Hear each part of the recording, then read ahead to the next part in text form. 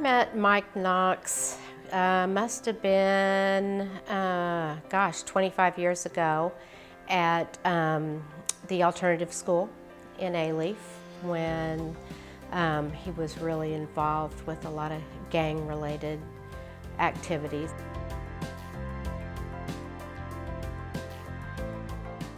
During the early 90s, it was a very frightening time. There was such a large amount of gang activity. That was the time of the drive-bys.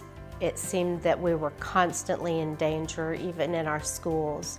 And Mike was present. He was determined that he was going to get to, to the extent possible, get to the bottom of what was going on, turn things around, make sure that that kids were safe. And he worked really, really hard to do that. And I believe that he made a huge difference. Mike probably has more firsthand knowledge of how the different sectors of the community intersect. I believe that his roles in law enforcement, his role in working with communities on gang-related activities and keeping people safe. He has truly gone above and beyond in uh, working with every segment tirelessly and kind of in ways that are not traditional ways. In other words, he's not going to take the traditional path, whether it be law enforcement, whether it be any other sector. He will come in, look at a situation, see what needs to be done, and find a way to, to make the changes that need to be changed.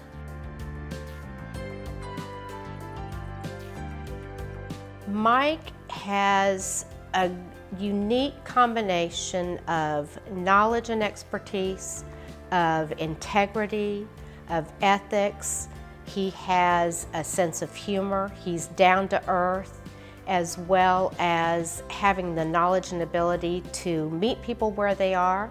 He truly has a servant's heart and truly wants to see his community the best place that it can be.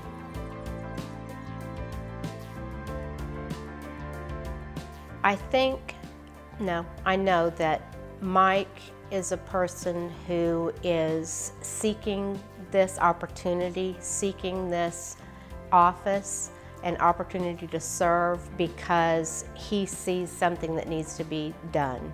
I don't believe he has any different agenda, any other idea or reason for wanting to serve his community other than that to make it the best place that it can be.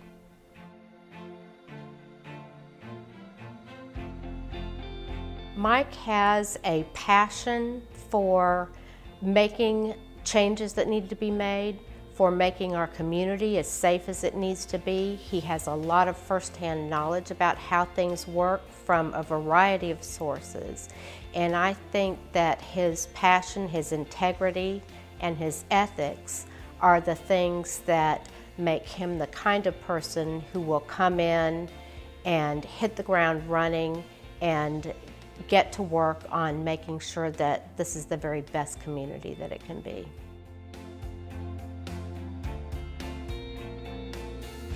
You need to vote for Mike Knox because he is a true servant of the people in every sense that you can imagine.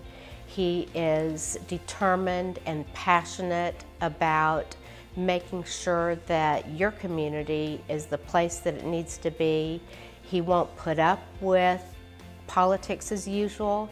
He won't put up with why something can't be done. He's going to keep on uh, persevering until changes are made or until the results are, are achieved that he needs to have achieved.